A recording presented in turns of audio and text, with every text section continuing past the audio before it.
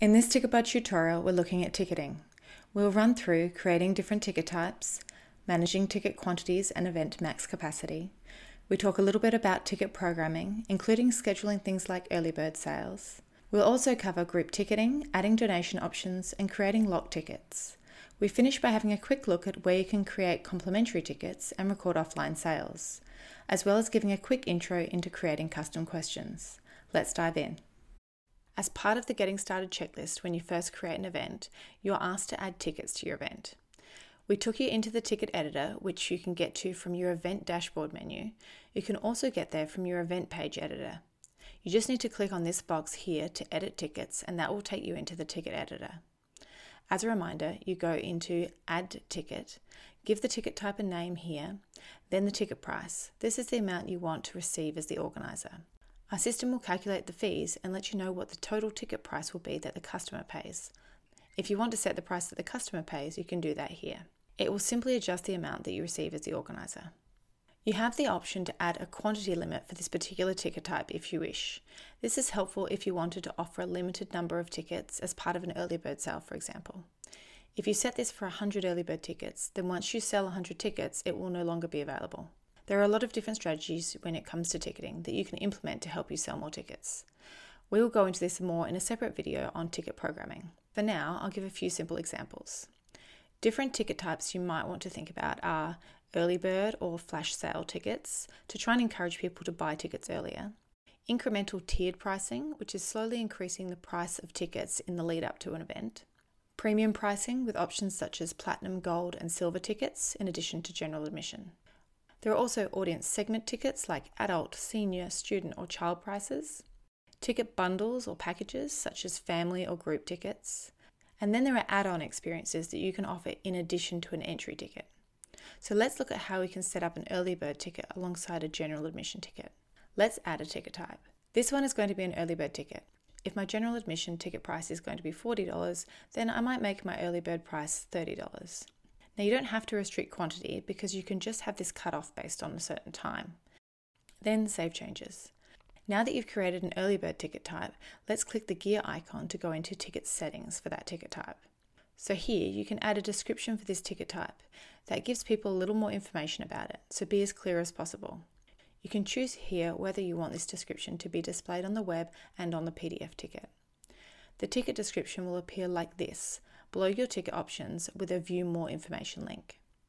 If you had put a maximum limit on this ticket type, you have the option here to show ticket buyers how many remaining tickets there are by checking this box. This is completely up to you, but if you have a lot of tickets remaining, it will lessen the sense of urgency, so keep that in mind. The group ticketing allows you to set a minimum and maximum tickets per purchase. So if you only wanted people to be able to buy up to six tickets per transaction, you can set that up here, with the minimum being one and the maximum being six. Alternatively, if this was a charity dinner where you had to purchase a table of 10, you could say tickets have to be purchased in groups of 10. So if our event is in October, we might start our early bird sale in the beginning of August at 8am and let it run for three weeks, so that would finish on the 22nd. We could even add this in our description back up here. This is a discounted early bird ticket only available until August 22nd at 8 pm. That way everyone knows how long this is going to be available. Here in settings, you can also add sales tax and any additional custom fees you wish to include on this ticket type. Then save changes. So with the early bird ticket all set up to be on sale for three weeks, we now need to set up the general admission ticket to come on sale when the early bird closes. So now we add a general admission ticket. We decided that this would be $40 and we aren't going to limit the number of these tickets. Now let's jump into settings on our general admission tickets by clicking on the gear icon again. Here we add the description, then come down to the sales schedule. Now you want this to kick in right after your early bird finishes, so GA goes on sale August 22nd at 8 pm and is available until event day, in this case that's October 10th at 7 pm. Remember to save these changes. Ticket buyers will just see the total ticket price per ticket at the checkout. If you want them to see the breakdown of the ticket price and the fees, then check this box here. Notice the maximum capacity over here.